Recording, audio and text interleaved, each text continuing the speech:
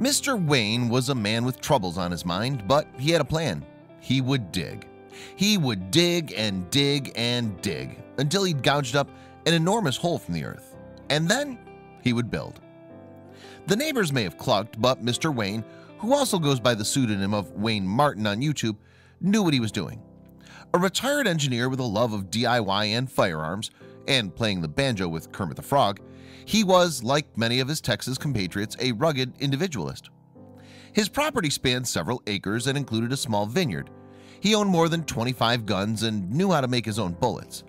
Each of his homemade pipe bombs, he claimed, was eight times stronger than a stick of dynamite. So why the hole? And what's with the container? China has a master plan to control all the debt practically worldwide, and especially America's debt, explained Mr. Wayne when he started on the National Geographic's Doomsday Preppers show. And what happens when China calls in its debts? The American dollar is going to be worthless. The public is going to panic. There's going to be pillaging like you never saw before. But like all dedicated preppers, Mr. Wayne had a contingency plan, and he aimed to thrive in the post-apocalyptic landscape. After digging his hole deep and wide, he applied a six-inch covering of gravel. It was ready. It was time. Having searched the internet, he had first procured an old shipping container, 20 feet long. He sealed the door shut at one end and installed a simple swing door at the other. Solid and durable, this would constitute the basic frame for his construction.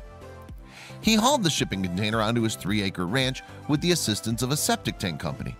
Using its sturdy crane, he positioned the container over the mouth of the hole. Carefully does it. He lowered the tank inside, leaving four feet of space in front of the doorway and around a foot in space at each side. He would need this room for additional construction work. By this point, you might think you know exactly what Mr. Wayne is up to, but you're probably wrong. The container safely in place, he dug a hole near the doorway and installed a 30-gallon plastic barrel. This would house a sump pump to keep the container dry and protect it from flooding. Starting level with the top of the container, he built a flight of concrete steps. This would provide easy access to the door, and of course, he no longer had to climb in and out of the hole with a ladder. But much more work needed to be done before he could fill the hole with earth. These containers are mostly sheet metal, he explained on his YouTube channel. Heavy duty as it is, the roof and sides will push inwards from the weight. Eventually, the metal will rust through and you'll be buried alive. That doesn't sound like much fun. The container would need additional structural support. He set solid metal girders on either side of the steps, creating an enclosure over the top of the stairwell. Around it, he added an extensive framework of wooden beams and planks. He laid several sheets of corrugated metal across the frame until the hole was covered from bank to bank. Now well supported by underlying scaffold, it would soon be time to cover the container. First, though, more essential work had to be done. Around the edge of the stairwell, he welded rows of rebar for reinforcement. He then added rows of blocks and filled them with concrete. The opening to the stairwell was now solid and strong. As a vital next step, he braced the roof with temporary planks of 2x4s. His method was meticulous and considered. My way will ensure it's still there a few hundred years from now, explained Mr. Wayne. But what was it? What was he building? Since he intended to bury the container under a thick covering of earth, access to oxygen was a very important concern. He added two 12-inch air vents to the container for utilities PVC tubes. Finally, it was time for the concrete. He spread it over the roof until the container was covered by a 6-inch solid shell, impervious to decay. The internal scaffolding could now be removed. His last step was to cover the concrete with soil. You'll want to plant trees on top someday, explained Mr. Wayne.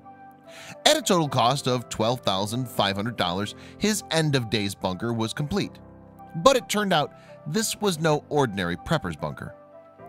This was a cellar for Mr. Wayne's homemade wine, which he calls Wayne's World. He produces hundreds of gallons every year.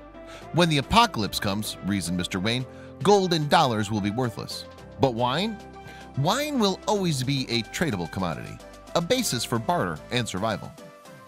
The United States currently owes China more than a trillion dollars, but since the two countries are heavily dependent on each other for trade, it seems unlikely that China will try to crash the US economy. Whatever the future holds, Mr. Wayne's bunker seems like a nice cozy place to hide away and enjoy a glass or two. Cheers, Mr. Wayne.